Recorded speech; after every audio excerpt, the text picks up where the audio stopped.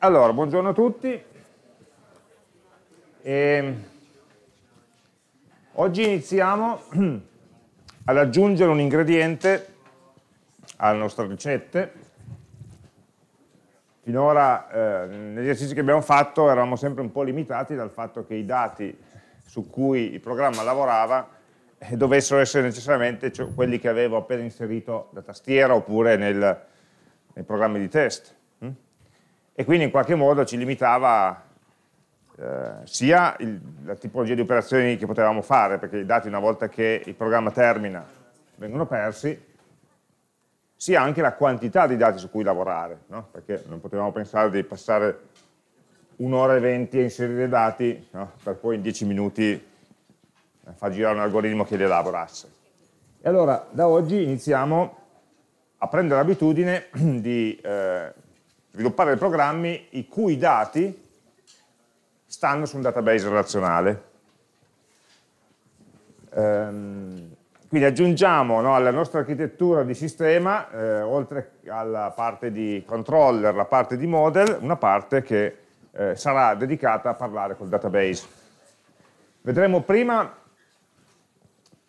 eh, come funziona, quali sono le classi no, in Java per accedere al database, la cosiddetta libreria JDBC. Eh, alcuni anni riesce la programmazione oggetti nell'ultima settimana a fare già qualcosa di questi argomenti, altri anni no, non so quest'anno, ma so che poi molti, ha già accennato qualcosa, però molti non sono riusciti a seguire quella parte, quindi facciamo un veloce aggancio, ok? In ogni caso. E poi ovviamente mm, cercheremo di costruire no, sopra la libreria Java eh, quelli che sono i nostri pattern di programmazione che ci permettono di andare un pochino più avanti. Allora, questa libreria che ha questa sigla strana JDBC, eh, che cosa fa? Beh, di fatto eh, permette a un programma in Java di fare le operazioni, tutte le operazioni possibili eh, relativamente a una base dati di tipo relazionale, quindi eh, di quelle che si interrogano no, col linguaggio SQL. Quindi possiamo fare delle interrogazioni, delle query, possiamo fare degli inserimenti, delle modifiche, delle cancellazioni dei dati, eccetera, eccetera. Eh, in realtà cancellazione non l'ho scritto perché io sono sempre un pochino allergico a cancellare. No? Quindi eh, tendenzialmente mi dimentico che è anche possibile cancellare dei dati e, e diciamo così, anche a livello di applicazione è una funzionalità che tipicamente è meglio non avere perché poi è difficile tornare indietro, no? quindi se costruite un'applicazione, piuttosto che cancellare veramente un dato, conviene magari marcarlo come cancellato o come non disponibile, in caso del bisogno ce l'hai ancora lì. Ma a parte questo piccolo dettaglio, eh, e questi dati ovviamente saranno eh, da un lato accessibili agli algoritmi, al model, dall'altro accessibili in qualche modo all'interfaccia utente. Allora, tutto questo è possibile grazie a questa libreria che ha questo nome strano, JDBC. Anni fa JDBC, diciamo così, era una sigla che rappresentava Java Database Connectivity, ma poi hanno detto no, no, non è più una sigla per quello, è una sigla a sé stante, ma va bene. A noi interessa che questa libreria a parte che è praticamente immutata dai tempi di Java 9, quindi stiamo parlando di parecchi anni fa, non ha avuto particolari evoluzioni, infatti si vede in questi link che ho raccolto dove ci sono un po' di documentazione, se volete andare, eh, quando avrete bisogno di consultarla, eh, il documento che la racconta, diciamo così, un pochino più in generale, risale ancora alla versione 8 eh, di Java e non è più stato aggiornato dalla stessa Oracle. Eh, ovviamente poi eh, le, la, la, definizione delle classi, le API vere e proprie, ad ogni nuova release di Java viene ricopiata ma è sempre uguale a se stessa, quindi assolutamente non ci sono novità. Um, come sempre ci troviamo comodi, ad esempio, a navigare questo, so, eh, questo sito no, di questo signore che ha trovato comodo farci dei diagrammi, in cui andremo poi a, a, diciamo così, a curiosare per capire anche, vedere anche un po' più, com, più, comodamente rispetto alla documentazione ufficiale come sono fatte queste classi, quali proprietà hanno. Ciò che ti interessa sapere è che tutti i metodi e le classi che ci servono che ci, e le interfacce che ci serviranno sono dentro questi due package, java.sql e javax.sql. Okay? Quindi useremo solo classi da quelle librerie lì e dovremo fare attenzione a usare solo quelle e tra un attimo vi spiego perché. Allora, cosa fa JDBC? JDBC permette a chi scrive un programma Java in qualche modo di scriverlo in modo indipendente dal database. Cioè ogni DBMS voi avete nel corso di base dati, se non sbaglio, usato Oracle, eh, avete usato MySQL, eh, lo, stia, lo, state usando, lo state usando nel corso di web. Esistono vari database in giro, ognuno diverso dagli altri, o meglio, tutti implementano il modello relazionale, implementano il linguaggio SQL, ma poi ciascuno ha delle modalità leggermente diverse di accesso. L'interfaccia utente sicuramente, ma soprattutto poi le API di accesso in modo che un programma possa interrogarlo. Quindi in qualche modo eh, fare una query su Oracle, fare una query su MySQL richiede procedure anche solo di connessione al database diverse, il modo in cui gli passo la password, il modo in cui gli passo la, la, la stringa di interrogazione, il modo in cui ottengo i risultati. Allora JDBC nasconde tutte queste differenze. Dice io so che ci sono dati, tanti database, dice JDBC, so che sono tutti diversi nelle modalità di accesso, ma alla fine fanno tutti la stessa cosa, quindi io vado a creare un'astrazione sopra che mi permette di vedere i vari database tutti nello stesso modo in un certo senso. E quindi la nostra applicazione, che adesso sviluppiamo MySQL, se domani dovessimo cambiare database sottostante, passare so, a Postgres o a Oracle, lo potremmo fare con uno sforzo minimo, perché noi avremo programmato rispetto a un così, database astratto generico, che è quello che mi offre l'API di JDBC. Facendo attenzione che ciò che si può astrarre è la connessione e l'esecuzione delle interrogazioni. Ciò che invece non si può astrarre è, sono le varianti le incompatibilità del linguaggio SQL vero e proprio. Perché vi hanno raccontato che SQL è un linguaggio standard, ma non lo è. Come tutte le cose standard, in realtà di standard ce ne sono almeno una per ogni database. No? Eh, solo per farvi, eh, un, darvi un'idea, questo qui è un, una persona che ha raccolto per un certo numero di anni, poi si è stufato e ha detto guarda non aggiorno più, però eh, ha raccolto le differenze tra quello che dice lo standard dell'SQL e come alcune cose sono implementate in varie versioni dei principali database. E ci sono alcune cose che sono simili, ma vedete che ogni, ogni sezione, ad esempio qua la select, che cosa, cosa cambia, qua è quasi tutto uguale, però ci sono delle sezioni, ad esempio sul limit, che sono diverse, eh, sono delle sezioni soprattutto più avanti sulle date, che si comportano in modo completamente diverso. Cosa vuol dire? Vuol dire che io posso collegarmi a un database in modo indifferente rispetto al database, ma quando scrivo una certa query con una certa sintassi, devo fare attenzione che alcuni database possono interpretare o estendere in qualche modo la sintassi SQL in modo leggermente diverso da altri. E quindi questo rimane un problema mio, non è un problema che JDBC risolve. Okay? Ne parleremo un pochino di più per quanto riguarda le date, eh, che sono sempre una, una particolare grana, e, e, i tipi di data, i tipi SQL che supportano le date. Il resto cercheremo di scrivere SQL semplice, no? semplice standard, che no, eh, non incappare in questo tipo di trappole di questo tipo di incompatibilità. Per fortuna la compatibilità tende ad aumentare col tempo, nel senso che i produttori di database hanno anche tutto l'interesse no? diciamo, a implementare nel modo corretto le varie funzionalità, però contemporaneamente hanno interesse all'innovazione, quindi io eh, ho una nuova funzionalità nel mio database e quindi devo estendere l'SQL per supportarla, per renderla accessibile ai miei utenti, che magari la vogliono usare perché è una cosa che serve, una cosa utile, e quindi devo in qualche modo implementare qualche cosa in anticipo rispetto allo standard. Poi farò di tutto per fare in modo che il modo in cui l'ho implementata io rientri nello standard. Ma se il mio concorrente fa lo stesso, avrò due modi diversi di fare la stessa cosa e lo standard dovrà prendere una. Quindi in qualche modo questi disallineamenti fanno parte del normale sviluppo tecnologico. Quindi questo è il primo motivo per cui ci sono queste incompatibilità. Chi sviluppa, diciamo, l'innovazione è avanti rispetto agli standard, sempre, ma per definizione di standard, di questo non si può fare nulla. È sano, tra virgolette. L'altro motivo per cui ci sono queste differenze è la lock-in, il famoso effetto di lock-in per cui se io ho sviluppato per un database avrò usato delle cose specifiche di quel database e se queste cose sono specifiche e per me sono critiche diventa più complicato, più difficile per me migrare a un database diverso perché dovrò andare a rivedere tutte le query e quindi chi mi vende un database ha tutto l'interesse a farmi usare delle cosette che solo lui supporta nel modo in cui lui le supporta così io rimango fedele eh, non per volontà ma per convenienza, perché dopo un po' mi costa di più cambiare che non rimanere. No? E, quindi qua ci sono diciamo, gli aspetti di, di, di mercato che poi alla fine percolano fino all'interno della sintassi del SQL. Ma al di là di questo, JDBC in qualche modo cerca di lenire il problema, dandoci un'architettura su più livelli, in cui cosa vediamo? Vediamo nel livello più alto questo scatolo che si chiama Java Application, cioè il nostro programma. A livello più basso c'è il database, e qui ne fa alcuni esempi di database diversi. È chiaro che noi non andiamo a collegarci a tutti questi contemporaneamente, uno solo, ma qui ci sono i dati. Okay?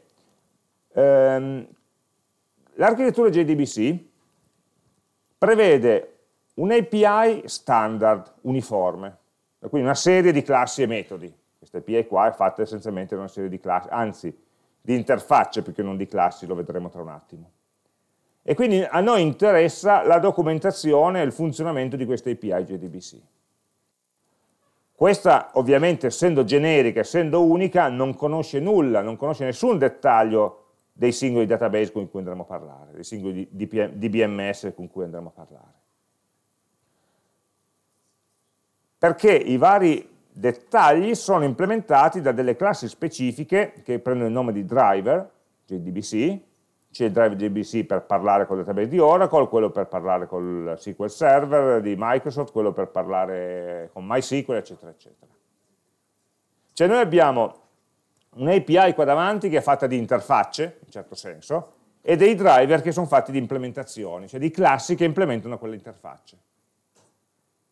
Quindi se noi programmiamo relativamente alle interfacce, poi l'implementazione, quando chiamiamo un metodo, che ne so, il primo che chiameremo si chiamerà getConnection, cioè apri una connessione col database, eh, la classe, l'oggetto, il metodo che, chiama, che, che rappresenta getConnection è definito qua, a livello di interfaccia. L'implementazione sarà definita dentro una classe driver che è specifica del database che uso. Okay? Quindi io posso scegliere implementazioni diverse a seconda del database che ho, eh, che, con cui devo collegarmi. In mezzo chi c'è? In mezzo c'è una classettina che fa i collegamenti tra le due cose. Dice, va bene, questa è un'interfaccia, queste sono tante classi che implementano quell'interfaccia, ma quale vuoi usare tu adesso? E quindi in qualche modo questa classe ha l'unico scopo di eh, caricare una oppure l'altra oppure l'altra classe in funzione del, del, del, tipo di connessione che cerchiamo di aprire, del tipo di database con cui cerchiamo di collegarci. Okay? Tutto questo è abbastanza trasparente per noi. La differenza è che fino a qui, fino a questo livello, siamo nella libreria standard Java, quindi queste interfacce e questa classe driver manager, che di fatto fa da collegatore o da caricatore di classi, fanno parte della famosa package java.sql. Le classi sottostanti invece no, sono e devono essere separate, cioè te le fornisce chi, chi ti fornisce il database, non sono nell'installazione di Java chiaramente. Okay? Chi, io, se domani vi inventate un nuovo database, se volete che i programmatori Java possano usare il vostro database, non solo dovete fornire il database, tutto ottimizzato, tutto bello, tutto documentato, ma anche dei driver per i vari linguaggi, tra cui Java, in modo che chi, eh, chi, chi sviluppa applicazioni possa in qualche modo accedere al vostro software. Allora, in pratica, in pratica tutto questo ragionamento si concretizza in sei passi. Cioè ogni volta che vogliamo fare una query su un database, parlo di query in senso generale, la maggior parte delle volte faremo delle, delle, query, cioè delle query di interrogazione, quindi delle select, però potrebbero anche essere delle insert, delle update.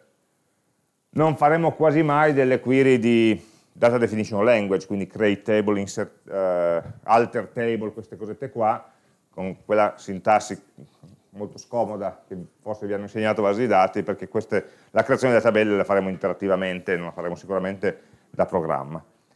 Um, ma invece da programma dovremo lavorare con i dati, non con la struttura del database. Allora, ogni volta che vogliamo fare un'interrogazione passiamo attraverso questi sei passi. E proviamo a magari farli insieme, ok? Allora, il primo passo è ovviamente eh, sarebbe il passo zero, è eh, ehm, dotare il nostro progetto di una driver JDBC. No, perché altrimenti abbiamo detto dentro la libreria standard non c'è nessun driver e quindi non mi posso collegare a nessun database. Quindi dovrò installare nel mio progetto il driver JDBC per il tipo di database che usiamo noi. Okay? E quindi quando eh, il programma parte deve riuscire a trovare quella libreria. Questa è una cosa un po' strana, e la vediamo tra un attimo, eh, che quella libreria è nel nostro progetto, ma noi non la usiamo. Nel senso che noi non avremo mai nessuna nel nostro, nel nostro codice, nessun import di quella libreria lì. Il nostro codice non sa di fatto quale driver viene usato fino a quando il programma non parte e il driver manager decide quale driver usare. Mm? Quindi è un'importazione un po' strana, nel progetto metto una classe ma se vado a vedere il codice sembra che non la usi da nessuna parte. Una classe, un package, una libreria. Ehm, perché la ricerca della classe non avviene attraverso l'import quando compilo il programma, ma avviene dal eh, driver manager quando il programma parte a runtime, mm? quindi dinamicamente, quindi può darsi che il programma compili ma poi non parte perché non c'è il driver giusto. Mm? Allora, quali sono queste classi eh, JDBC driver prendono il nome nel mondo MySQL di connector, No? Quindi dicevamo, questa classe driver eh, ce la fornisce chi ci fornisce il database. No? Quindi nel caso che, usiamo, che, usassimo MySQL come database, eh, ad esempio a questo indirizzo qua si, si, possono scaricare vari tipi di librerie che vengono chiamate connector per i vari linguaggi, so, per il C, per il Python, eccetera, noi, noi serve quello per Java e ci dà un jar di questo genere quindi una libreria Java che possiamo aggiungere al nostro progetto.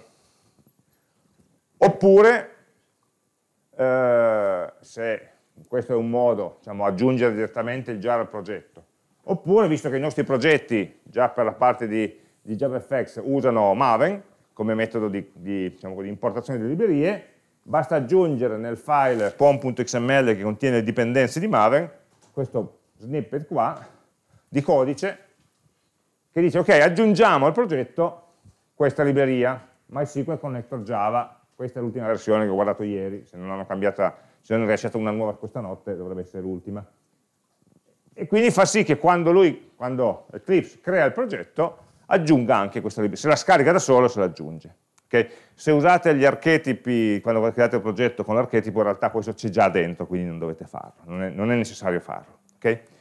questo per quanto riguarda MySQL, il driver ufficiale fornito da MySQL. Questo driver è una classe che sta dentro, questa, il nome di questa classe è com.mysql.jdbc.driver, ma noi questa classe non la useremo mai, non la vedremo mai esplicitamente. Quindi prima dicevo, i, le classi che ci servono sono dentro java.sql, questa è una classe che non è dentro java.sql, è com.mysql.robaccia, è un'implementazione, noi quell'implementazione non la richiamiamo mai direttamente, la richiameremo sempre indirettamente. Mm? Eh, se andassi a vedere MariaDB, che poi alla fine è compatibile al 90% con MySQL, perché era lo stesso progetto e poi si è diviso, anche diciamo, gli sviluppatori di MariaDB hanno pubblicato un connector che anche qua, volendo, uno se lo scarica, oppure aggiunge eh, diciamo, nelle dipendenze, anziché il connettore di MySQL, quello di MariaDB. Eh, tra l'altro nello stesso progetto possono convivere connettori diversi. Sono lì pronti, librerie pronte, e poi solamente quando io apro una connessione al database, che come vediamo tra un secondo, lui sceglierà la classe opportuna. Um, Ok, quindi una di queste due. Tra l'altro, come avevamo purtroppo scoperto, se non sbaglio, nel corso di un paio di anni fa, questi due connector si comportano in modo leggermente diverso, quindi alcune query che da una parte si comportavano in un modo, dall'altra si comportavano in modo diverso, soprattutto dal punto di vista delle, delle prestazioni, ce siamo accorti poi, diciamo così, in laboratorio quando non capivamo perché ad alcuni le cose funzionassero in modo diverso. Comunque, nel, nel prototipo, nell'archetipo Maven del nostro progetto dovrebbe già esserci eh, dovrebbero esserci tante librerie, tra cui già quella del client MariaDB, bisogna solo eventualmente, se non fosse l'ultima versione, quella che avete, basta andare a editare il pom.xml e mettere il numero di versione, anche qua, quello che ho fotografato ieri, l'ultimo era 3.1.2. Mm? Il più recente va bene, ma anche quello un pochino più anzianotto, ci, per il tipo di cose che dobbiamo fare eh, è più che sufficiente. Ok, allora, sapendo che devo aggiungere al mio progetto questo, eh, il primo passo è quello di aprire una connessione con il database. Cioè io ho il mio programma Java, che sta qua, ho il mio database che sta là, e per potersi parlare in qualche modo devo aprire un canale di comunicazione. Aprire e poi chiudere, quando avrò finito. Questo canale di comunicazione si chiama connessione, connection, e ogni connessione è identificata da un indirizzo o da una serie di parametri. Cioè io devo dire, ok, il database su che computer sta, su, su, su, che, su quale macchina sta, su che server sta, qual è il database schema a cui voglio accedere, perché un singolo DBMS può contenere tanti database al suo interno, qual è il mio username, qual è la mia password di accesso per eh, per collegarmi col database, più eventualmente altri parametri, ma questi quattro sono fondamentali. Dove sta, come si chiama il database e quali sono le mie credenziali, username e password per potermi collegare. Queste quattro informazioni, più altre opzionali se vogliamo, le codifichiamo in un'unica stringa, che sembra una URL, no? tipo un indirizzo web, che è fatta in questo modo. Um, Prima, nella prima riga c'è la parte diciamo, della regola generale e sotto ci sono elencati i vari pezzettini da cui è composta. Allora, il primo pezzettino eh, dice che questo indirizzo è relativo a una connessione JDBC. Quindi JDBC due punti, inizia sempre così la stringa di connessione. Poi, dopo i due punti, c'è un altro pezzettino, un altro frammento che indica quale tipo di database utilizziamo. Quindi JDBC MySQL dice, ok, questa è una stringa di connessione a un database MySQL, oppure questa è una stringa di connessione al database MariaDB, oppure fosse OC9, stringa di connessione a un database Oracle, eccetera, eccetera. Eh, eh, questa seconda parte, questo secondo frammento, viene usato, lo vediamo tra un secondo, dal driver manager per decidere quale driver implementare. Ciascuna classe driver risponde, tra virgolette, ad una o più stringhe di questo tipo. Ad esempio il driver JDBC di MySQL risponde a, ovviamente, MySQL. Il driver JDBC di MariaDB risponde sia a MariaDB sia a MySQL, perché vuole essere compatibile, quindi dice, boh, se tu hai caricato il driver MariaDB e hai una connessione a JDBC due punti MySQL, io lo posso fare, e quindi... Eh, posso caricare il driver di MariaDB anche con una stringa di tipo MySQL. Mm, non è vero e viceversa, perché no, si odiano un pochettino i due. Ok, quindi prima di tutto il tipo di database. Noi diciamo così, per genericità usiamo, useremo MySQL, così funziona sia con MySQL che con MariaDB. Poi, dove sta il database? Dove gira il server? Quindi barra barra, come tutte le URL, e poi c'è il nome dell'host e eventualmente la porta su cui gira. Allora, normalmente il nome dell'host è la macchina locale, per noi che stiamo sviluppando su un PC solo, e quindi il database e il programma Java stanno tutti sullo stesso computer. Stanno entrambi sullo stesso computer. E allora mi collego a un database che gira sul mio stesso computer. Normalmente localhost è sinonimo del proprio computer. Eh, in alcune combinazioni localhost non funzionava, bisogna mettere l'indirizzo di rete che è 127.001 per il localhost. Mm? E poi la porta, la porta di rete, eh, a cui collegarci in questo server. Normalmente MySQL e MariaDB po come porta di default usano la 3306, 3306, e quindi se usiamo questa non è necessario specificarla, perché il driver lo sa che quella è la porta di default. Queste sono informazioni dal doppio slash in avanti sono informazioni che vanno al driver specifico del database e quindi è lui che sa come interpretarle. Però ci sono alcuni casi, mi ricordo alcune, alcune configurazioni di Mac in cui di sistema hanno già una versione di MySQL che usa il sistema operativo per i fatti suoi, che gira sulla 3306 e quindi quando lanciate la vostra installazione di MariaDB lui si prende una porta diversa, specie anche e soprattutto se usate Xampp per lanciarlo. Quindi a, volte, no, eh, anche se non lo fate apposta, avete due versioni di MySQL che stanno girando sul vostro computer e bisogna specificare poi la porta giusta per essere sicuri di collegarsi all'istanza che vi serve. Lo dico così genericamente, anticipando i problemi che ci possono essere, poi ciascuno eh, dovrà vedere com'è com configurata la propria macchina. No? Ok, qui fin qua arrivo al database. Poi ho slash il nome del database stesso, perché nello stesso DBNMS posso avere più database contemporaneamente, e poi le credenziali, punto interrogativo user uguale, e, e secondo parametro è commerciale password uguale il nome della password. Questi username e password sono quelli del, non sono quelli del computer, non sono quelli del programma, non sono quelli dell'utente, sono quelli del database. Quindi quando avete installato MariaDB vi ha chiesto di creare un utente che si chiama root e avete specificato una password, che spero non abbiate dimenticato, che è la password del, dell'utente che ha tutti i privilegi, no? l'utente root dentro eh, MySQL ha tutti i privilegi. Possiamo usare quello stesso utente oppure possiamo creare degli utenti specifici che magari avevano dei privilegi solamente su un singolo database. No?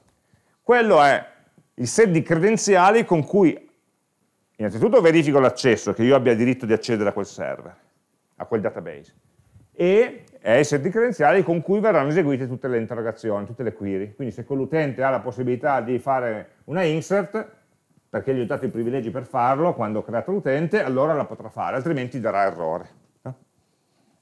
Noi almeno all'inizio useremo l'utente root e facciamo finta di niente, no?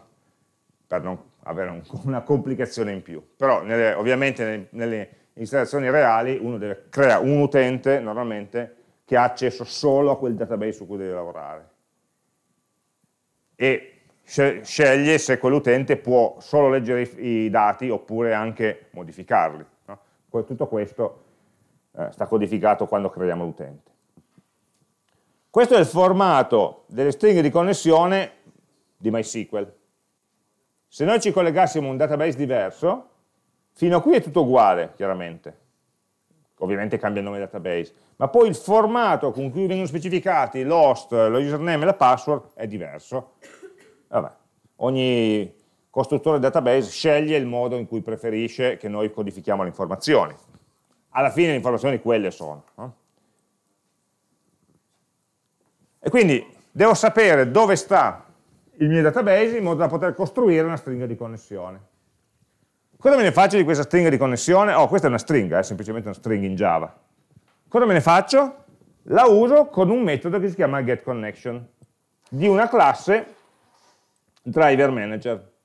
L'abbiamo visto nella figurina driver manager. Driver manager è quello che non è che fa molto lavoro, ma trova la classe driver giusta e la collega al, ai, a tutti i metodi di interfaccia che chiameremo. Quindi trova aggancia le implementazioni dei, dei metodi che ci servono. GetConnection è un metodo statico, lo vedete lo chiamo sulla classe, non c'è un new driver manager, ma il driver manager, nome della classe, punto getConnection, è un metodo di factory, cioè costruisce una classe connection che io posso usare. Costruisce un, scusate, un oggetto di classe connection, non costruisce una classe, costruisce un oggetto di classe connection. Connection questa è la classe java.sql.connection. Noi non faremo mai, in tutto l'utilizzo di JDBC, non useremo mai una volta il metodo new. Mai. Ma perché? Ma perché semplicemente le classi che dovremmo creare, per usarle, sono quelle del driver, implementate nella classe driver. Ma la classe driver noi non la conosciamo. E quindi noi avremo degli oggetti che sappiamo come funzionano perché implementano le interfacce definite in java.sql. Li possiamo usare questi oggetti, ma non, non, li possiamo creare, perché se scrivo new ho bisogno del nome della classe e il nome della classe non lo so. Non lo voglio sapere perché sarebbe specifico di ogni singolo database. E allora questi vari metodi, questi vari oggetti implementeranno tutti delle factory che mi creano l'oggetto che mi serve. Allora, voglio una connessione, creo getConnection che mi crea l'oggetto connessione. Mi crea l'oggetto com.mysql.jdbc.connection oppure mi creerà l'oggetto org.mariadb. non so bene che non sia il nome del package, eh, connection, eccetera, eccetera.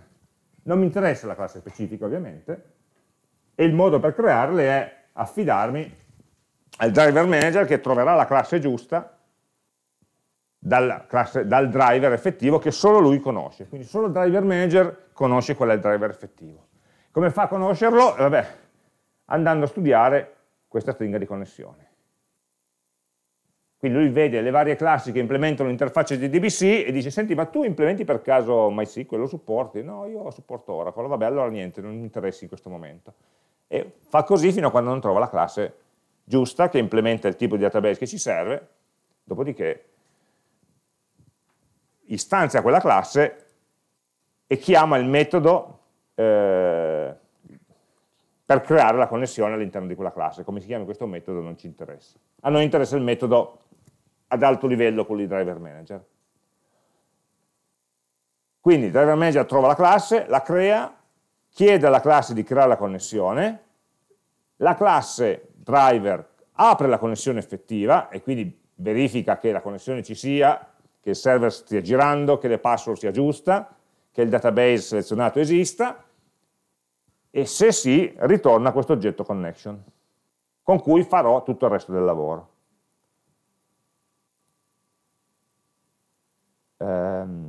Se invece uno dei tanti controlli che ho citato prima, esiste il server, eh, sta girando la password del database, eccetera, non va a buon fine, questo metodo getConnection mi spara un'eccezione, un SQL exception, SQL exception, e saranno tante. Ah, quindi abbiamo un codice di questo genere. Tante parole per una riga di codice. Eh?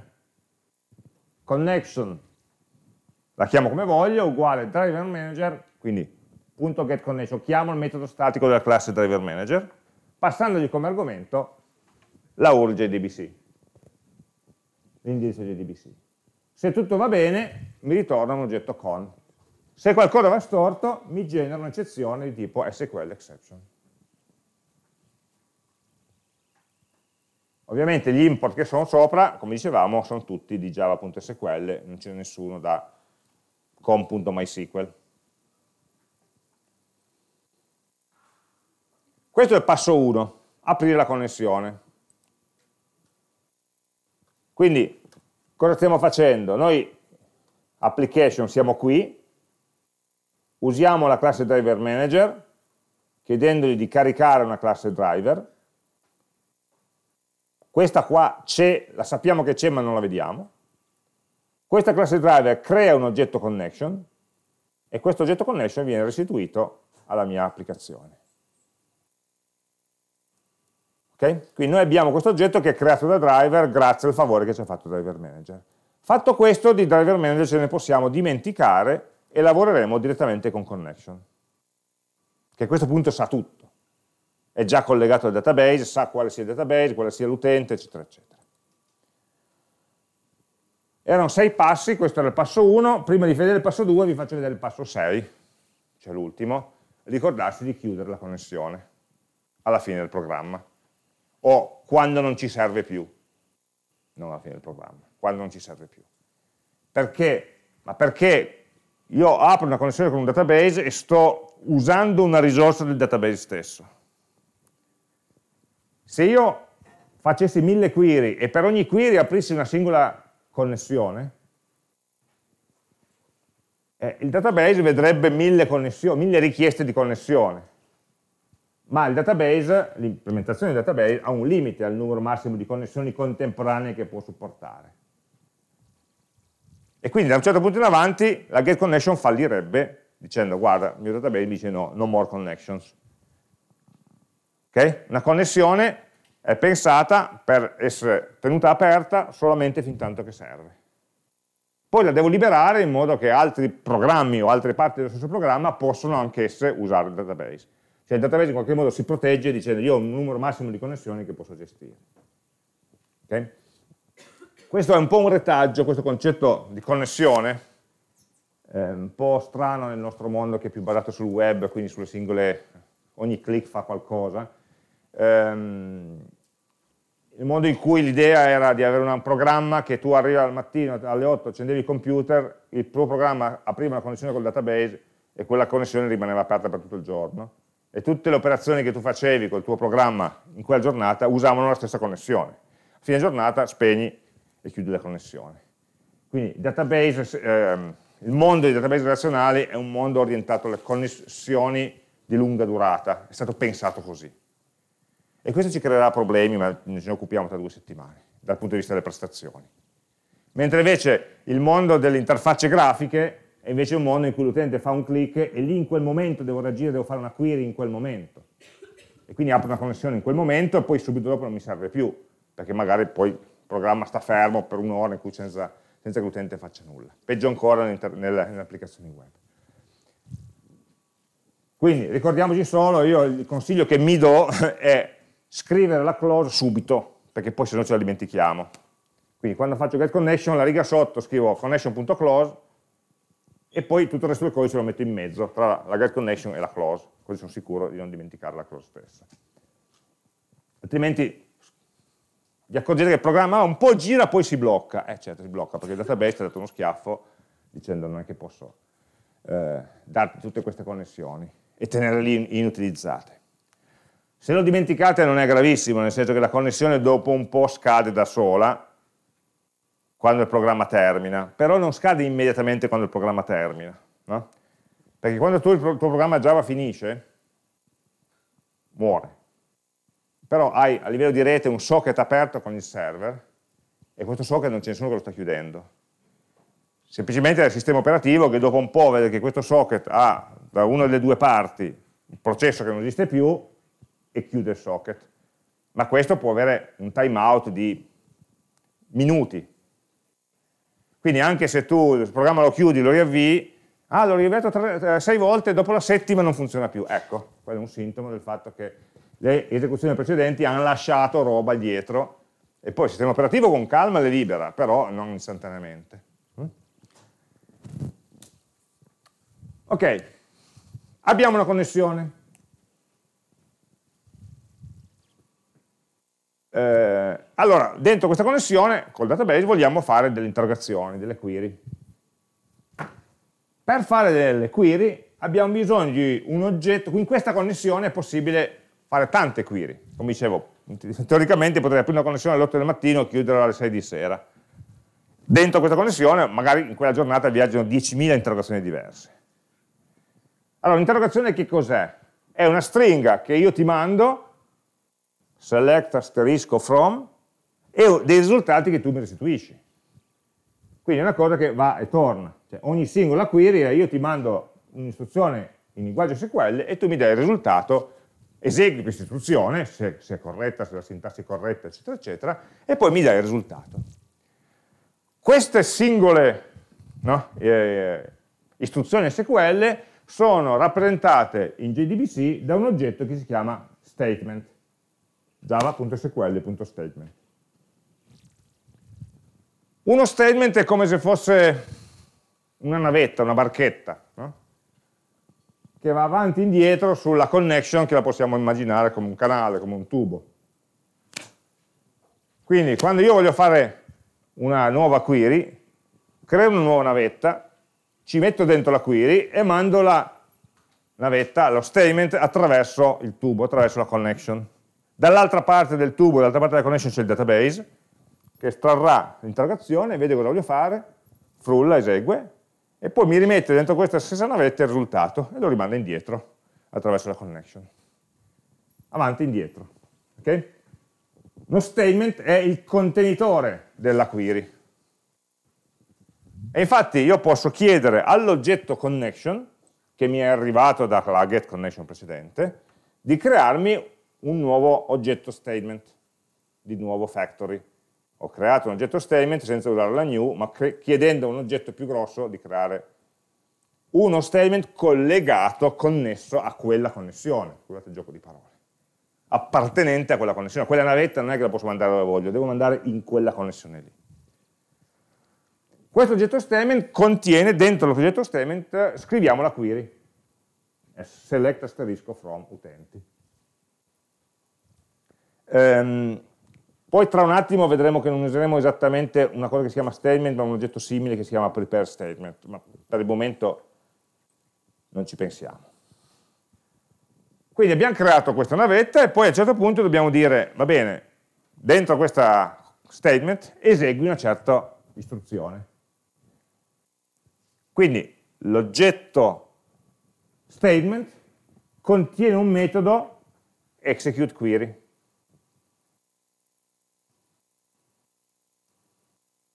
Che ha come parametro la SQL che voglio eseguire. Quindi io dalla connection mi faccio creare uno statement e poi dirò statement.executeQuery. Nel create statement non c'è la SQL qua come argomento, non c'è nessun argomento vuoto e quindi la query la dare, la devo dare dopo col metodo execute. E qua dentro ci metto il mio select di quello che voglio. Execute query è quello che fa effettivamente il lavoro di prendere SQL, mandarlo al database, aspettare che il database faccia i suoi conti e, e aspettare che ritorni il risultato, e questo risultato lo metti in un altro oggetto di tipo result set. Quindi noi abbiamo tre oggetti di cui abbiamo parlato finora, connection, statement, result set. Beh, in realtà non abbiamo ancora tanto parlato. Connection, vabbè, contiene la connessione database, statement contiene la query, result set contiene il risultato della query. Eh, quindi siamo qua sotto, in questo diagramma delle classi. Alla connection abbiamo chiesto dammi uno statement, connection crea l'oggetto statement e l'oggetto statement gli passo la query e mi restituisce un result set. Il result set è una classe che contiene i risultati della query stessa. Normalmente usiamo il metodo execute query, in realtà l'oggetto statement ha anche altri metodi, perché execute query è pensato per eseguire delle interrogazioni di tipo select, cioè che restituiscono effettivamente un risultato. Se invece volessimo eh, eseguire delle query che modificano i dati, anziché interrogarli, useremmo execute update come metodo di statement. Mm? Alla fine gli passo sempre un SQL, ma la differenza è che nel primo caso ho come ritorno un result set, cioè i risultati della query. Negli altri casi come valore di ritorno non ho niente, perché se faccio insert non è che non restituisce nulla questa, questa interrogazione. E allora restituisce semplicemente un numero intero che mi dice quante righe ha, ha modificato, ovviamente. Oppure mi genera un'eccezione se non ci riesce, ovviamente. Quindi sono due metodi leggermente diversi perché uno restituisce un result set con la select, l'altro restituisce un intero che rappresenta le righe modificate con le altre istruzioni. Poi se uno volesse eseguire un'istruzione SQL che non è nessuna di queste quattro, non è select, insert, update o delete, c'è un metodo execute che accetta qualunque eh, SQL gli diate, ma non avremo quasi mai bisogno di usarlo. Quindi, beh, questo è un esempio, quindi noi avevamo una stringa per la connessione, ma adesso abbiamo una seconda stringa che è l'istruzione SQL da usare. La passiamo come argomento all'execute query e restituisce un oggetto result set. Um,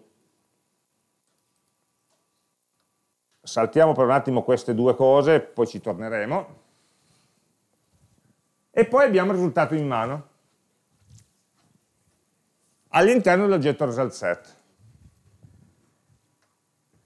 Allora, qui dobbiamo fare i conti con due cose, ovviamente che sono legate al modo diverso di pensare, di esistere di un programma Java, di un database relazionale. Quando voi fate una select in un database relazionale, che cos'è il risultato che ottenete? Una tabella. Una tabella fatta di un numero variabile di righe che potrebbe anche essere 100 milioni, oppure 0, e un numero fisso di colonne, perché ogni select mi dice sono quali sono le colonne, di tipi di dati diversi.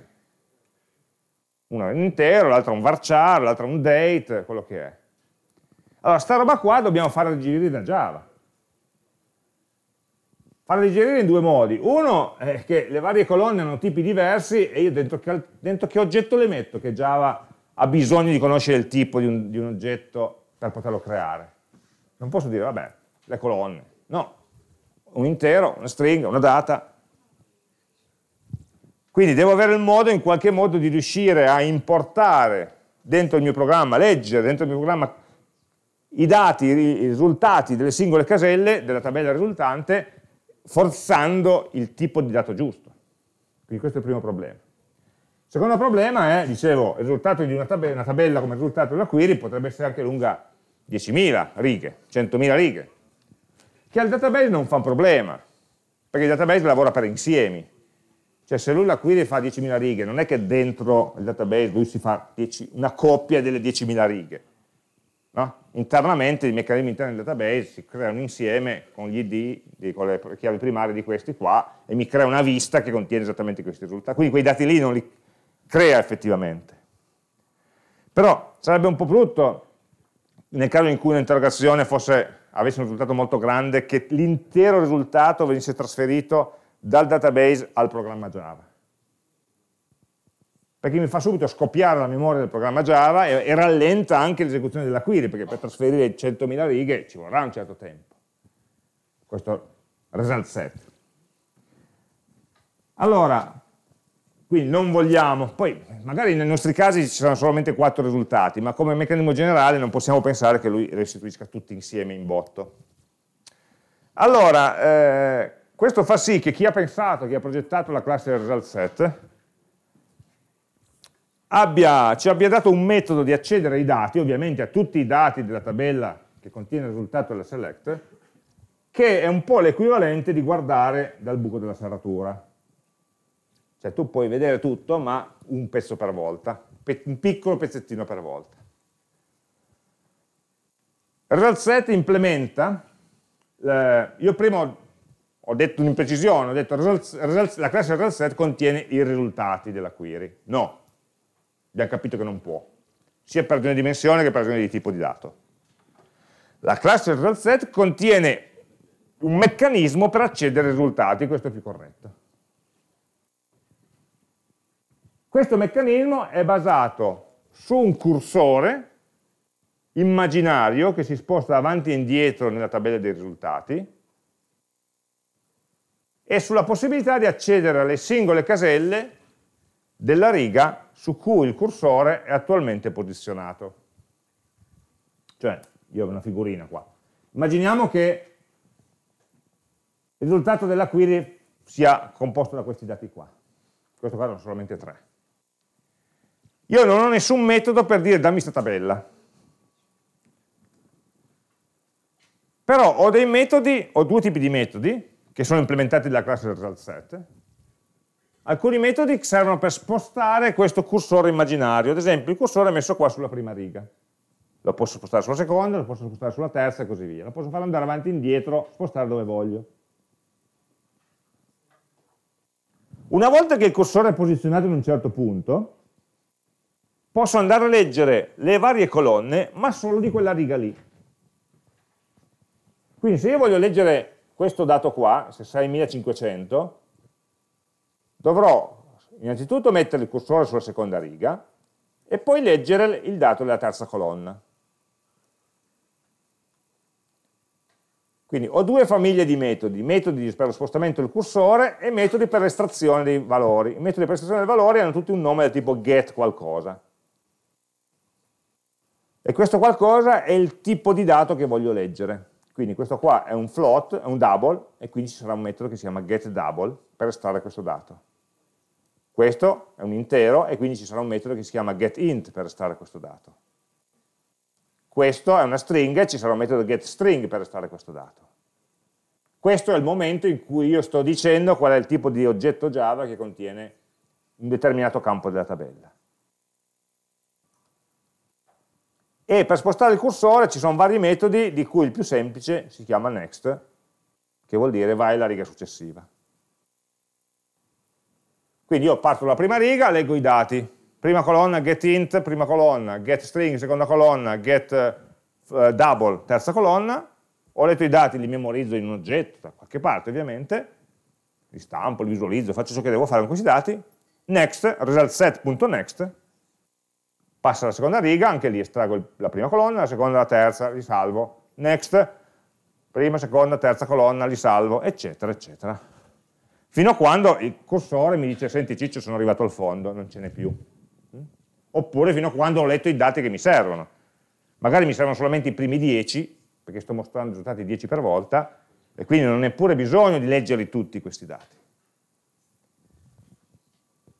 Ok, questo cursore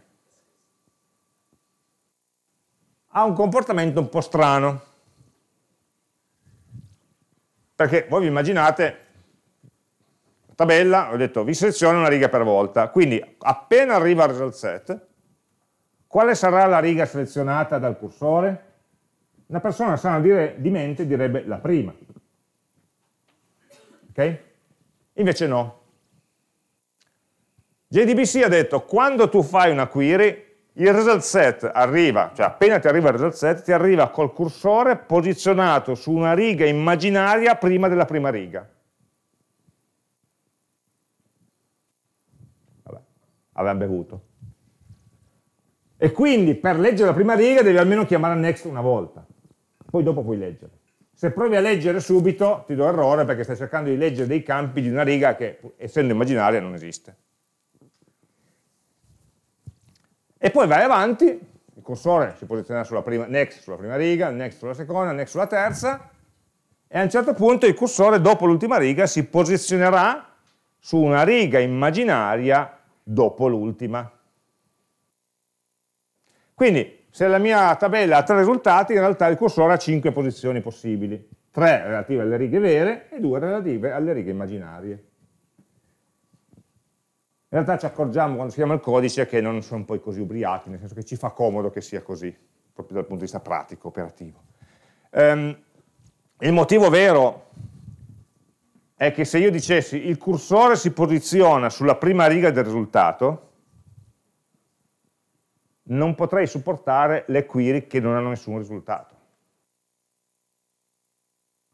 Select from uh, where username uguale Pippo e se Pippo non c'è questa tabella ha zero righe. E allora dovrei in questo caso, se dovessi dire il cursore si posiziona sulla prima riga la prima riga non c'è, dovrei dare un'eccezione. Ma perché devo dare un'eccezione per un caso completamente normale, cioè quello che una query restituisca zero risultati? E quindi per poter supportare questo fatto si sono inventati queste due posizioni. Anche una tabella con zero righe ha comunque due posizioni le lecite per il cursore. Prima della prima riga che non c'è e dopo l'ultima riga che non c'è, ma queste due posizioni, prima di e dopo di, esistono, sempre. Le posizioni intermedie, che sono quelle dei dati veri, possono esistere o no, può essercene 0, 1, 100, 1000. E quindi hanno inventato questo modo un po' strano di definire questo cursore, questo iteratore. Tutti questi movimenti del cursore li possiamo vedere se andiamo a vedere la classe ResultSet che ha insomma, qualche decina di metodi, ma non ci servono tutti, ma poi in realtà sono metodi che sono totalmente replicati. Eh, ad esempio, vediamo che qua c'è un metodo first che posiziona il cursore sulla prima riga prima riga, quindi deve esistere. E infatti dice, attenzione che ritorna vero se c'è la prima riga, falso se non ci sono righe. Ma questo è uno spostamento che tu fai. Eh, c'è il metodo che ci serve di più, next. Sposta il cursore avanti di una riga rispetto alla sua posizione corrente.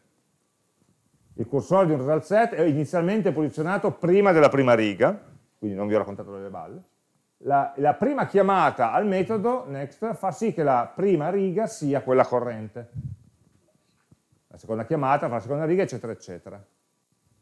Quando una chiamata al metodo next ritorna falso, qui non genera eccezioni questo normalmente, ritorna falso, vuol dire che il cursore è posizionato dopo l'ultima riga. Quindi se io sono sull'ultima riga e chiamo ancora next, non si arrabbia. Posiziona il cursore sulla riga dopo l'ultima e mi restituisce falso. Altrimenti mi restituisce sempre vero. Se io fossi testardo e chiamassi ancora il metodo next dopo che lui mi ha restituito falso, ovviamente mi dà un'eccezione. Se cerco di andare avanti quando sono già nella riga dopo l'ultima. Ok, questo è il metodo che useremo di più no? Sul, poi ci sono, che ne so, isLast mi dice se sono sull'ultima sull riga, oppure eh, c'è un before, vabbè, noi... o come c'è il next ovviamente c'è il previous per tornare indietro, ma no, le useremo abbastanza poco. E poi ci sono dei metodi, ad esempio, come vedete qua, is before first. Mi dice se, se, il cursore è nella riga prima della prima oppure è dopo l'ultima, is after last. Insomma, ci sono, mescolati agli altri, no? ci sono tutti questi metodi di spostamento. Um, C'è un metodo relative che manda avanti o indietro di un certo numero di righe, dove è andato relativo? Qua. E c'è un metodo, vabbè, da qualche parte per posizionarlo anche in posizione assoluta. Questi sono tutti i metodi che sono riassunti qua, next è il principale, e gli altri metodi che gestiscono la posizione del cursore. Mi dice dov'è, oppure lo sposta prima della prima riga, dopo l'ultima, mi dici se sulla prima, mi dici se su, eh, va sulla prima, va sull'ultima, eccetera. No, li ho citati qua per completezza, ma vi, eh, vi dico già che nel 99% dei casi ci servirà solamente questo, perché avremo dei risultati e li vogliamo scorrere dal primo all'ultimo. Una volta che sono sulla riga che mi serve, dicevamo, devo estrarre i dati con una serie di metodi get chiamo un metodo get per estrarre un dato di una colonna della riga corrente. Quindi se la mia tabella ha sette colonne come risultato chiamerò sette volte get, passandogli come parametro l'indicazione della colonna che voglio leggere e chiamando il metodo get al posto di questa xxx specifico il tipo di dato che voglio ottenere. L'indicazione su quale colonna voglio leggere la posso dare in due modi. O con un numero di colonna, int, quando il parametro è un int, o con il nome di colonna, passandogli un parametro di tipo stringa. Assolutamente preferibile, perché almeno vedo quello è il nome della colonna. E se cambiassi la query aggiungendo una colonna in più, una colonna in meno, se usassi i numeri si sballa tutto. Se uso i nomi invece sono sicuro di che cosa pesco. Se uno volesse usare i numeri di colonna, attenzione che sono numeri che partono da 1 e non da 0, motivo in più per non usarlo. E qua, quindi qua si vede che c'è veramente una marea di metodi get, ad esempio c'è un get uh, string che è il più facile, ce ne sono due, quello che riceve come parametro l'indice di colonna, quello che riceve come parametro il nome di colonna. Vedete che il parametro è una volta int e l'altra volta è, è string. Entrambi ovviamente restituiscono un oggetto di tipo string. Questi sono tutti i metodi che chiamiamo sul result set. Se io avessi una colonna di tipo intero, prendo un getInt. GetInt numero di colonna o getInt nome di colonna. e restituiscono ovviamente un valore intero.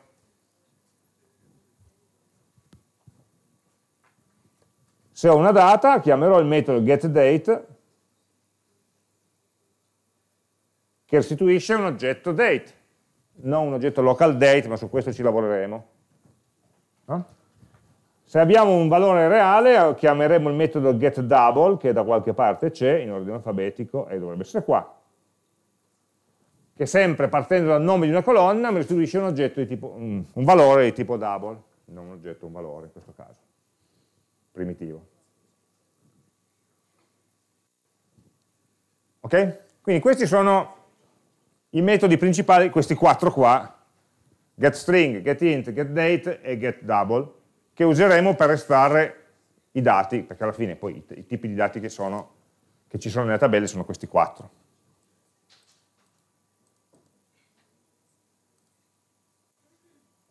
Um, ovviamente c'è un lavoro di conversione di cui non andiamo a impazzire, perché non ci appassiona, tra un sistema di tipi di dati e un altro sistema di tipi di dati. Cioè SQL ha, sì, ha il suo sistema di tipi di dati, che sono questi, Java ha il suo sistema di tipi di dati, e io ovviamente non potrò chiamare un getInt su una colonna di tipo varchar, ma invece potrò chiamare getString su una colonna di tipo integer, perché la convertirà, è una conversione possibile. Quindi ci sono delle conversioni possibili e conversioni non possibili. Eh, ad esempio una colonna di tipo char o varchar chiaramente la posso convertire in string. Una colonna di tipo int, numeric, big int, quello che voglio, la posso convertire in, in, sicuramente in integer, in double, ma anche in string. Quindi ci sono... Noi normalmente faremo la conversione più naturale, eh? però diciamo, ci sono tutte le combinazioni possibili elencate, legittime addirittura questa tabella qua fa vedere quali sono tutti i possibili metodi che posso chiamare in funzione del tipo della colonna. Questi qua con la x in grassetto sono quelli naturali, diciamo così. Se è una colonna che contiene un intero, chiamerò getInt per estrarne il valore. Ok, l'ultimo, eh, poi questo era il passo 5, estrai i dati, poi lo vediamo su un esempio per riuscire a digerire un pochino tutte queste nozioni. Eh. Ehm, L'ultimo passo, in realtà il passo 6 lo conosciamo già, chiudi la connessione. Ehm, la stessa connessione può essere usata più, con più statement. Mm?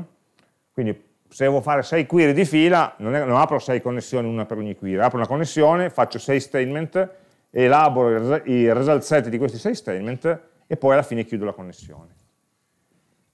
Nel caso in cui io chiudo la connessione, questa automaticamente rende non più utilizzabili tutti gli statement e tutti i result set che erano collegati a quella connessione lì.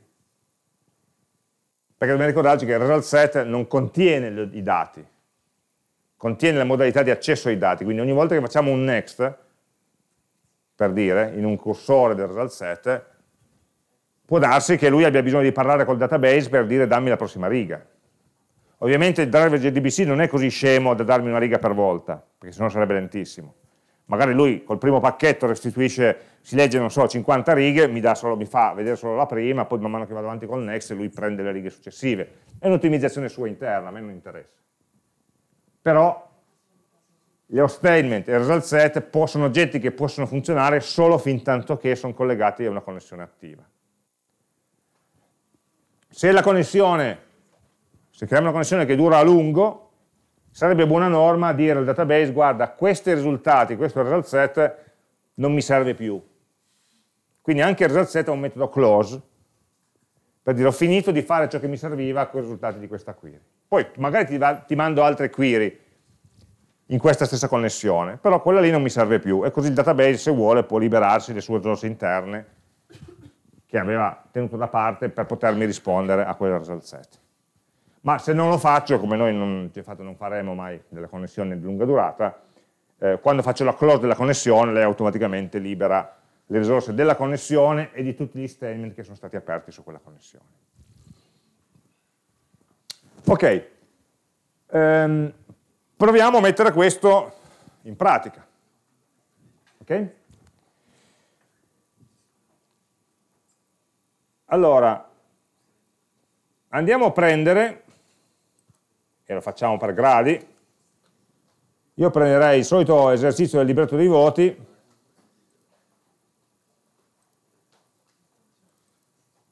ok? E proviamo questa volta a far sì che i voti vengano memorizzati non dentro una lista, ma direttamente nel database. O meglio, che ehm, quella lista venga caricata e salvata poi su un database.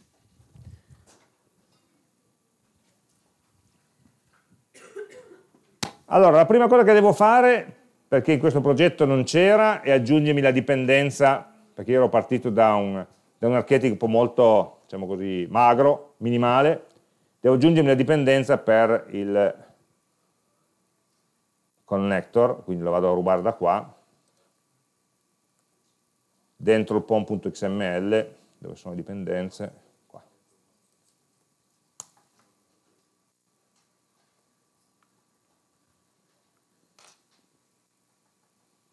in cui ci metto anche MariaDB. Quindi ho aggiunto queste tre righe al file pom.xml, queste quattro righe. Fate attenzione che dovete metterlo dentro il blocco che si chiama dependencies al plurale però fuori dagli altri blocchi che si chiamano, a fianco, diciamo così, degli altri blocchi che si chiamano dependency. Quindi la struttura del file contiene una sezione dependencies plurale con tanti blocchi dependency singolari. Ok, quindi salvando questo, lui a un certo punto vedo che nelle dipendenze mapping puff, si popolano, si aggiunge roba, perché lui nel frattempo ha scaricato la dipendenza di MySQL. No? Il, il, bello di, di, di Maven del POM.xml è che quando poi voi vi scaricate magari un progetto, trovate già, il POM trova già le indicazioni, quindi trovate, non dovete aggiungerlo voi. No? Noi quello che faremo anche nei laboratori, anche l'esame, vi diamo già un progetto già configurato con le librerie che servono, quindi non dovrete, non chiedere, non, non dovrete mai andare a mano a modificare il POM.xml. No? Però adesso siamo partiti da un progetto in cui non c'era anche per vedere come funziona. E quindi adesso questo mio progetto è pronto per potersi collegare a un database MariaDB oppure MySQL. Peccato che non ce l'abbiamo, no? questo database.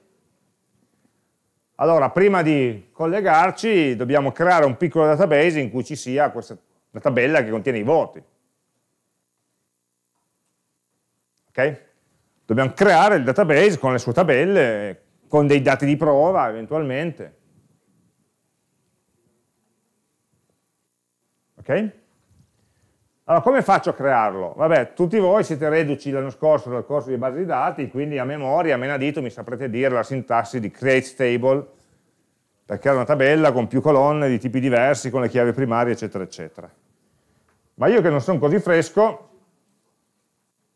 preferisco usare un programmino che mi aiuti a gestire le tabelle del database. E questo è il motivo per cui, per chi usa Windows, abbiamo suggerito di, usare, di installare questo programmino che si chiama IDSQL, Purtroppo non ce n'è uno carino così per me, che abbiamo trovato SQL Pro, che forse è meno peggio, ma se ne trovate di più carini ditecelo così aggiorniamo il suggerimento, per chi usa il Mac. Che cos'è questo IDSQL o SQL Pro? Sono dei front-end grafici per gestire database. Eh, n'è anche uno che possiamo inserire, installare come plugin di Eclipse, no? si chiama dbeaver, dbeaver eh, se volete farlo lo potete installare dentro Eclipse, è un pochino più macchinoso secondo me da usare, come tutto nel mondo di Eclipse ovviamente, eh, però si può anche fare cioè, senza mai uscire da Eclipse. Ma io trovo molto comodo questo qua perché è leggero e veloce, per, almeno sotto Windows. Allora, ricordiamoci che stiamo lavorando con un database. Quindi, il database è un servizio che sta girando sul vostro computer. Dal giorno in cui l'avete installato, c'è un programma che si chiama MariaDB o MySQL che sta girando come servizio sul vostro computer. È sempre stato lì, non l'avete mai usato, ma sta girando. Accetta già connessioni, accetta già query, può fare il suo lavoro, semplicemente non lo stiamo usando. Questo è un programma, come potrebbe essere un nostro programma Java, che si collega a quel database e fa cose. Ok? Quindi, come a volte sento dire, IDSQL non è il database. Ok? ID è un programma che si collega al database che deve girare, quindi se, non, se la connessione non parte, non c'è, anche il programma Java non parte, è problema del servizio. Eh, ad esempio su Windows, se uno lo può vedere nella tabella dei servizi, dal pannello di controllo a un certo punto c'è un servizio più giù, più giù, più giù che si chiama MariaDB che è stato creato quando io ho installato MariaDB su questo computer. E lui mi dice che sta running, sta girando eh, con avvio automatico. Quindi si avvia da solo quando, quando, accendo, quando entro nel computer, quando accendo il computer magari qualcuno l'ha installato come avvio manuale e quindi ogni volta deve fare start o stop del servizio. Qui MariaDB da solo non ha nessuna interfaccia grafica, lui parte e gira come servizio di sistema. E quindi l'unico modo che ho di controllarlo è attraverso il sistema operativo. Se questo sta girando, bene. Se avete usato XAMPP, che state usando col corso di progettazione web, allora lì dentro XAMPP c'è la, la, funzionalità per avviare My, My, uh, MySQL o MariaDB. Quindi in quel caso lo avviate non attraverso i servizi del sistema operativo, ma lo, lo avviate attraverso l'interfaccina di XAMPP. L'importante è che prima di fare qualunque cosa noi siamo sicuri che questo database stia girando, sia avviato, altrimenti stiamo parlando col nulla. Mm? Allora, se funziona, allora io apro una nuova connessione Con ID posso scegliere quale tipo di database usare, MariaDB, MySQL, c'è una certa serie di database supportati da ID SQL, e una voce MariaDB oppure MySQL, su quale computer sta girando il server, in questo caso va bene, 127.001 che è la stessa cosa che scrive localhost, e poi mi chiede quale utente e quale password usare per collegarmi al database. E, al primo avvio, alla prima installazione, abbiamo creato un utente solo che si chiama root, con una password che avete indicato quando avete installato il programma. Io, visto che dobbiamo condividere le cose, quindi devo per forza disinteressarmi della sicurezza, ho messo come password root, ma nella, nella vita reale non fatelo mai. Attenzione, se state usando eh, XAMPP, l'utente root non ha password e quindi non dovete metterla. Okay? Fatto questo, io posso fare apri e a questo punto questa operazione in quella di apri, apri, è la stessa operazione di connettersi a un database.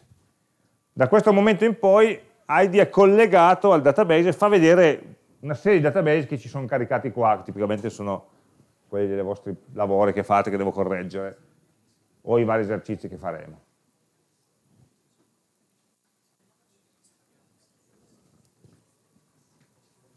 Ovviamente se voi avete preinstallato non vedete tutta questa roba qua, vedete solamente i due database predefiniti di MariaDB. Ogni database è qua, è fatto di tabelle. Mm, qui purtroppo ID non si riesce a ingrandire, ingrandire eh, l'interfaccia, le query sì ma l'interfaccia no. Qui a sinistra stiamo navigando localhost, che ha tanti database, ciascun database è fatto di tabelle.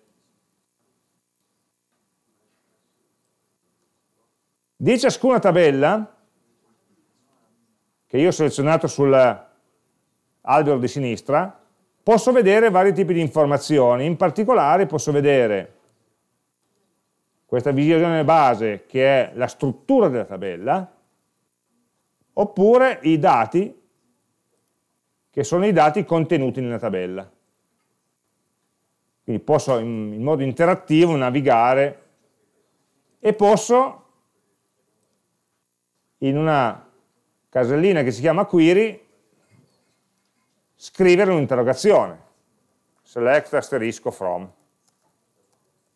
che ne so, squadra c'è una tabella che si chiama squadra lo eseguo e mi dà sotto il risultato di questa interrogazione. Quindi è un modo interattivo molto diretto, molto veloce, no?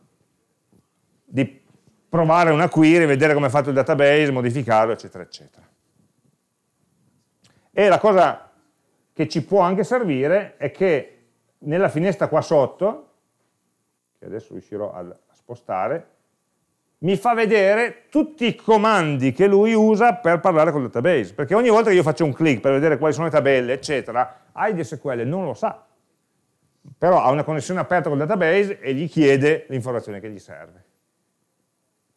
Questo è utile anche quando magari creiamo una tabella, la creiamo in modo grafico, poi quando schiacciamo il bottoncino crea, salva, qui sotto compare la query con la sintassi giusta, create table se mai ci dovesse servire. Quindi ci serve anche per aiutarci a, a ripassare la sintassi SQL. Allora, cosa dobbiamo fare noi? Beh, proviamo a crearci un primo nuovo database che contenga i dati dei nostri libretto voti. ok? Quindi creo, mi porto sull'inizio dell'albero, che è la connessione, e creo un nuovo database.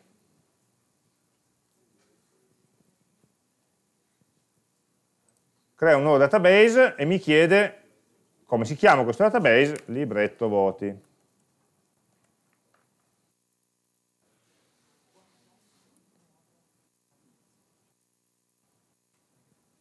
Quando faccio ok, lui mi crea un nuovo database che si chiama libretto voti, che è qua insieme agli altri sotto mi ha anche fatto vedere l'istruzione che ha eseguito.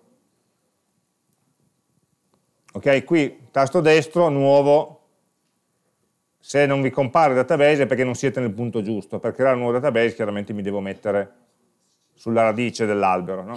dove c'è l'icona della connessione con MariaDB. Nuovo database. Ok, dentro libretto voti adesso un database, se ci clicco sopra è vuoto, cioè non contiene nessuna tabella. Eh, ovviamente dobbiamo creare una tabella che contenga le informazioni che ci servono, eh, le, le informazioni che servono per rappresentare la classe voto, cioè sarà un elenco di voto. Quindi una tabella con tre colonne, il nome del corso, i punti, la data.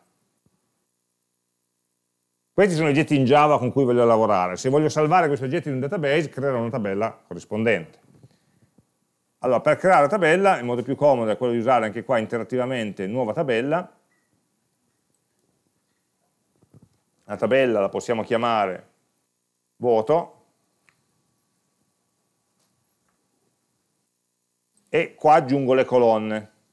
Quindi avrò una colonna che si chiama corso di tipo stringa, quindi vediamo un po' i tipi testo, potrebbe essere un varchar, di 50 caratteri può andare bene, aggiungi una colonna che si chiama eh, punti, giusto?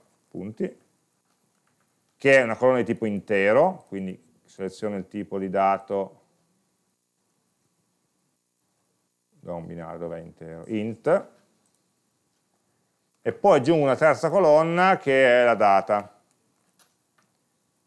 E quindi qua sarà di tipo date ad esempio.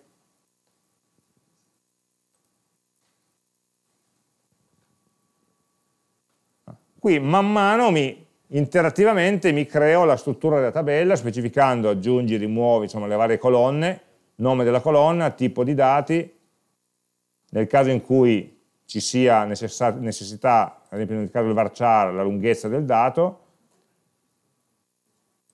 o la colonna null o not null, quindi se selezionato può accettare dei null, se deselezionato non può accettare nessun null, eventualmente valore di default, predefinito, eccetera.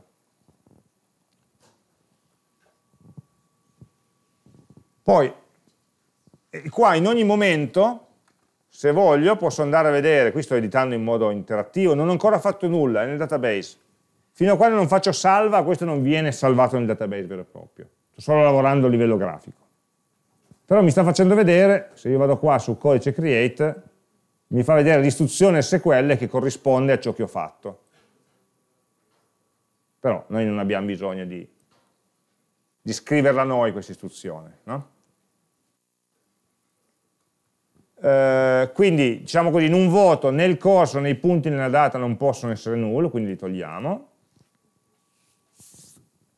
E poi manca ancora una cosa, che una tabella che si rispetti deve avere una chiave primaria. Allora, come facciamo a specificare una chiave primaria? Basta andare sulla riga che corrisponde alla chiave primaria e tasto destro crea nuovo indice primary. Qui è possibile chiamare, creare una chiave primaria, una chiave unica, oppure anche delle chiavi esterne, le vedremo quando avremo più tabelle no? per mantenere l'integrità referenziale. Adesso noi dovremo decidere se il nome del corso è la chiave primaria oppure no. Perché o usiamo uno dei campi che esistono come chiave primaria oppure aggiungiamo un campo ulteriore, id, e useremo, che sarà un numerico autoincrementante, e useremo quello come chiave primaria. Dipende dai casi. No? Questo fa parte della progettazione del database. A differenza di quello che avevamo nel corso di base di dati in cui progettavate un database sotto strette, rigide specifiche, e quindi la soluzione doveva essere esattamente quella, qui le specifiche in, qualche modo ce le stiamo dando noi, le stiamo deducendo dal contesto del problema. E quindi ci sono tante micro scelte da fare che spettano noi, nessun altro ce le fa. Per questo caso direi non complichiamoci la vita, aggiungiamo pure la chiave primaria a questo corso alla, alla colonna che si chiama corso. Quindi quando faccio salva, lui frulla un pochino e alla fine mi ha creato nella database tabello, eh, libretto voti una tabella che si chiama voto con, con la struttura che ho appena deciso. Se vado a vedere i dati, ovviamente è vuota. Quindi io con ID posso fare alla fine tre cose. Creare e gestire tabelle, qui volendo la posso modificare, quindi farò di nuovo salva, lui farà l'alter table per aggiungere e togliere le cose. Posso vedere i dati e anche inserirli manualmente, e posso fare delle interrogazioni nell'etichetta query, scrivo l'interrogazione e poi la eseguo. Sono questi tre momenti. Ecco, se vogliamo inserire dei dati di prova per poi testare l'interrogazione di questi dati da parte del database, c'è questo tastino qua, inserisce una riga nella tabella. Quindi in questo caso mi dice il corso di tecniche di programmazione,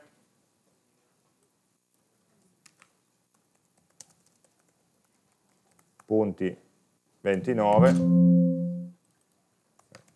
in data, qui mi fa scegliere la data, vediamo che sì, oggi può andare bene. Posso aggiungere un'altra riga, mettiamo sempre analisi 1 perché lascia il segno. 23, questo qua diciamo l'abbiamo fatto l'anno scorso. E poi ci mettiamo,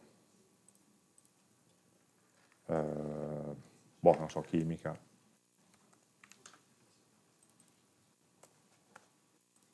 che abbiamo fatto due anni fa.